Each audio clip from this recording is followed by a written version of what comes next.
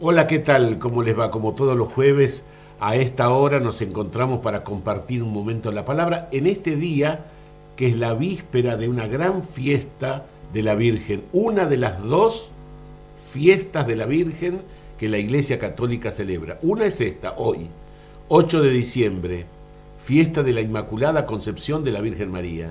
Y la otra gran fiesta de la Virgen es el 15 de agosto, donde celebramos la Asunción de la Virgen María. ¿Qué celebramos mañana? Mañana celebramos la Inmaculada Concepción, es decir, que María fue concebida sin pecado original. Todos nosotros nacemos con el pecado original, por solidaridad con nuestros padres Adán y Eva, que fueron los que pecaron, y todos nacemos con esa marca, con el pecado original. Por eso le decimos pecado original.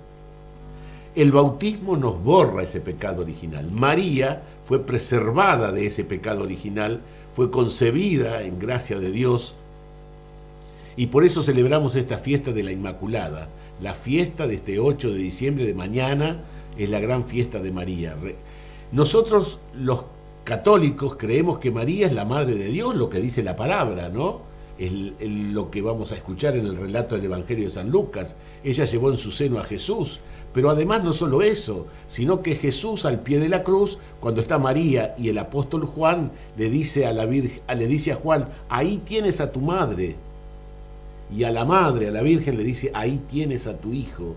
Y desde aquel momento el discípulo se la llevó a su casa. Es decir, nosotros creemos y veneramos a la Madre de Dios, veneramos a la Virgen María como Madre del Señor, ¿cómo no vamos a querer a la Madre del Salvador? ¿Cómo no vamos a querer a la Madre de nuestro amigo? Como hacemos nosotros en la vida. La Madre de mi amigo también la quiero porque es la Madre de mi amigo. Más si ella intercede delante de su Hijo. Ya sé que Jesús es el, gran intercesor, pero nosotros obramos de esa manera. Podemos pedirle a la Virgen, que interceda delante de su Hijo y nos concede lo que nosotros necesitamos. La Virgen no es la que nos da, sino que es el Señor que nos da todo, Dios es el que nos da todo lo que nosotros necesitamos. Nosotros no, la Iglesia Católica no adora a la Virgen. La Virgen María no es un Dios, es la madre, un ser humano como nosotros, la elegida por Dios la preservó desde su nacimiento, nació sin la mancha original, fue elegida para ser la madre del Salvador. ¿eh? La madre de semejante misión tenía que ser alguien especial para que llevara en su seno, para que llevara en su seno el Hijo de Dios que se encarnaba, que venía a este mundo. Por eso nosotros veneramos a la Madre, por eso nosotros sabemos que esa imagen que tenemos es una imagen, sabemos que ahí no está la Virgen, sino que nos representa la Virgen María. Entonces, mañana celebramos esta gran fiesta, la fiesta de la Inmaculada Concepción de la Virgen María. Ella nació de su mamá sin la mancha original, sin el pecado original, preservada desde siempre para ser la madre del Salvador. Ese, ese vientre que debía llevar al Salvador debía ser puro e inmaculado y por eso fue preservado. Mañana en la parroquia San Pablo vamos a tener a las diez y media la misa con todos los niños de la primera comunión, los grupos que fueron haciendo la comunión durante este mes de noviembre y el, y el domingo pasado de diciembre. Vamos a tener todos los niños haciendo la procesión, más de 100 niños de primera comunión de la parroquia San Pablo. A las 10.30 vamos a hacer salir del templo con la imagen de la Virgen haciendo la procesión en torno a la plaza. Y después haremos la celebración de la misa. Por lo tanto, yo los invito para que mañana participemos o a las diez y media con la misa y procesión o a la, a la noche, a las 20 horas de mañana, la misa también de la Virgen. Les recuerdo que para los católicos, mañana es día de precepto, es como si fuera domingo. Quería compartir con ustedes la palabra, ¿no? La palabra de Dios. La palabra de Dios del Evangelio de San Lucas, donde se nos narra el anuncio del nacimiento de Jesús, donde María decide ser la madre del Salvador, donde el Señor la elige para ser su mamá. para que ella preste su vientre, para que desde ahí venga a nosotros.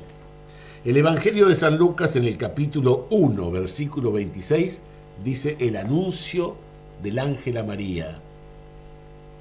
En el sexto mes, el ángel Gabriel fue enviado por Dios a una ciudad de Galilea llamada Nazaret, a una virgen que estaba comprometida con un hombre perteneciente a la familia de David llamado José.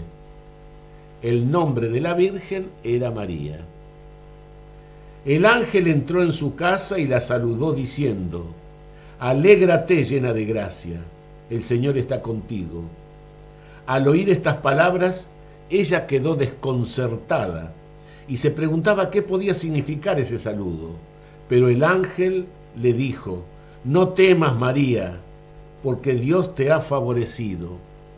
Concebirás y darás a luz un hijo, y le pondrás por nombre Jesús él será grande y se lo llamará Hijo del Altísimo.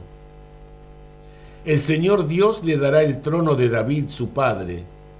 Reinará sobre la casa de Jacob para siempre, y su reino no tendrá fin. María le dijo al ángel, ¿Cómo puede ser eso si yo no tengo relaciones con ningún hombre? El ángel le respondió, El Espíritu Santo descenderá sobre ti y el poder del Altísimo te cubrirá con su sombra. Por eso el niño será santo y se lo llamará Hijo de Dios. También tu parienta Isabel concibió un hijo a pesar de su vejez, y la que era considerada estéril ya se encuentra en su sexto mes, porque no hay nada imposible para Dios. María dijo entonces, yo soy la servidora del Señor, que se cumpla en mí lo que has dicho. Y el ángel se alejó. Hermosísimo, bellísimo texto de, este anuncio del ángel a María. Ese diálogo entre ambos, ese asombro de María, ese, ese ángel que le explicaba y le resolvía las dudas a la Virgen ¿Cómo es posible? Se es posible, le dice el ángel, porque el Espíritu Santo descenderá sobre ti. Y fíjate que tu parienta Isabel ya se encuentra en su sexto mes, la que no podía tener, y ya se encuentra en su sexto mes. Entonces, ante tanta evidencia, María, la servidora del Señor, le dice, hagas en mí según tu palabra. Y el ángel, yo soy la servidora del Señor, hagas en mí según tu palabra. Y el ángel se alejó. Yo soy la servidora del Señor. ¿Cómo no vamos a tener a la Virgen como ejemplo? ¿Cómo no vamos a tener a la Madre de Jesús como ejemplo? Soy la servidora del Señor. Hágase en mí según tu palabra. Vamos a pedirle al Señor en esta fiesta, por mediación de la Virgen María, para que nos ayude a nosotros a hacer eso que es la Virgen. Dócil a la palabra, escuchar la palabra y pedir que ese Espíritu Santo venga también a nuestra vida. Pedir que ese Espíritu Santo de Dios nos envuelva como envolvió a María. Que ese Espíritu Santo de Dios nos fortalezca a todos nosotros. Y decir también, somos servidores del Señor, como María. Somos eh, dispuestos, estamos disponibles como María. Somos oidores de la palabra, escuchamos la palabra como lo hizo María.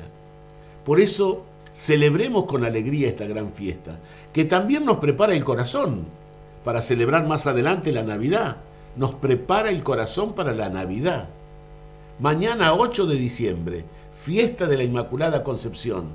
Los espero a las 10.30 en la parroquia San Pablo, donde haremos la procesión, la misa. Y a la tarde, la misa también de la solemnidad de la Virgen a las 20 horas. Mañana, día de precepto.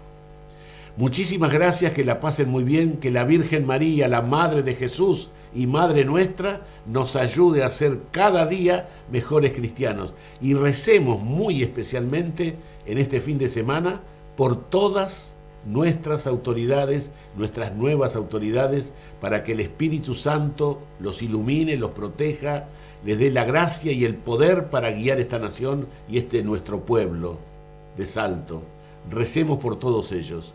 Muchas gracias, hasta el próximo jueves, si Dios quiere.